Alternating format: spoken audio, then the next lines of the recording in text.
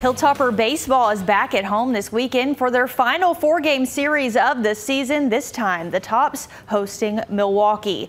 Another rainy Friday afternoon at the Nick for head coach Marc Rardin and his squad. Sophomore pitcher Jack Bennett was dealing on the mound, keeping Milwaukee at bay in the batter's box. Scoreless in the bottom of the third, the rain was coming down, forcing a short delay, but the Tops got things rolling in the bottom of the fourth. Brady Browning knocks one to left center field, and it's gone as Western Kentucky takes the lead 1 to 0. Bottom of the fifth, two outs. The Tops leading and leader in batting average, Blake Cavell. He lasers one right up the middle of the field, and he's off to the races. Another double added for the Australian.